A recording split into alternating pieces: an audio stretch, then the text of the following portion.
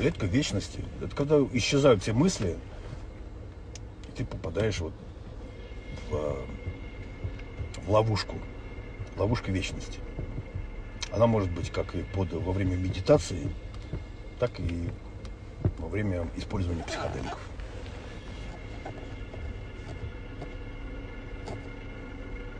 И там только все от тебя зависит. Ну или от правильного ситера. Я никогда с ситерами не, не пробовал с хорошими, поэтому всегда приходилось справляться самому. Это очень тяжело. Это очень страшно и тяжело.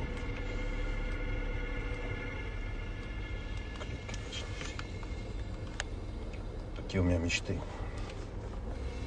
Как и у вас такие же. Чтобы бабок много и хуй стоял. Вот и все.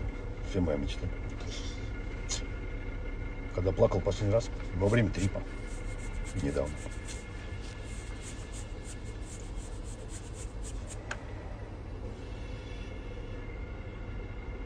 Я уже объяснил, что такое клетка вечности. Это отсутствие каких-либо мыслей, которые вы не сможете, не можете справиться с этим состоянием. Это можно назвать это некое вот то, то, чего не заканчивается. Это попасть в никогда. Да? Ощущение, что что-то ничего никогда не закончится. Это как паническая атака. Это ощущение неизбежности чего-то, смерти, например.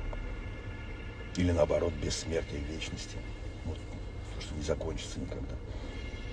Это может во сне быть, во время сонного паралича, может быть, во время употребления психоделиков. Бэт-трип.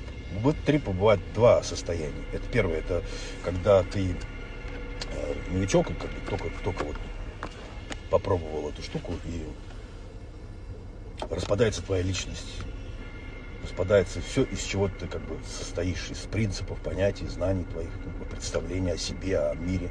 Оно вдруг бум и рушится. И ты такой, опа, и пустота. И что? Можно это воспринять как, как радость невероятную, стать ребенком, а можно этому испугаться. И вторая, вторая стадия бэт-трипа, это уже, ты когда все это прошел, ну, тут ты попадаешь как бы в матрицу матрицу, из которой тебе кажется, что все состоит. Весь мир, то есть это ты, как Бог, который, который мыслями своими творит это, это пространство, и оно, и оно, пока ты его не создашь, пока не, не создашь какие-то границы этой реальности, время и так далее, ты будешь вечно находиться в какой-то, в каком-то кошмаре, в каком-то, блядь, не знаю, паранойи. Тебе кажется, что все зависит от тебя, и все вокруг от тебя, и ты такая ответственность, и паника, и ты не можешь с этим справиться. Ну вот. Бэт-трип – это ловушка вечности. Каждая секунда тебе кажется, что ты вечно проживаешь. Вечно. Как будто ты там был всегда и никогда оттуда, и вся, весь этот мир, вся эта жизнь с, с твоим рождением и твоим представлением, друзьями, работой, школой, тебе кажется, что это, было, это всего лишь было ну, вспышка, это всего лишь э, такое, как бы тебе показалось. А на самом деле ты находишься вот в этом кошмаре, в этом бесконечном вечном, никогда не прекращающемся чем, чем-то там.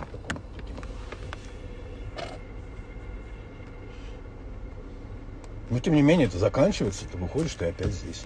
И думаешь, ну, надо бы еще попробовать. Когда опять туда попадаешь, блядь, никогда, никогда хочется все, блядь, закончить ну, совсем с этим раз и навсегда. Ну, когда ты опять приходишь в себя, ты думаешь, ну, это опасно. Я вот без ситера больше не хочу туда идти. Никуда. Поэтому, если я куда-то еще что-то раз попробую, это будет айваска с шаманами в местах, где это разрешено, где это где нету, блядь, самоизоляции, где нормальные люди себя чувствуют, существуют. Понимаете, травка, грибы, ЛСД, МДМА, ДМТ это отлично. Да, если у вас ты знаешь, что это действительно травка, что это действительно грибы, что это действительно МДМА, а не какая-то хуйня, блядь, э, которую ты купил, блядь, на гидре и сдохнешь от которой через 5 минут, блядь. Понятия не имею, что это. Всегда лотерея, блядь, 50 на 50. Ну, может быть, даже в другом процентном. Да, рулетка, блядь, русская. Понимаете, блядь.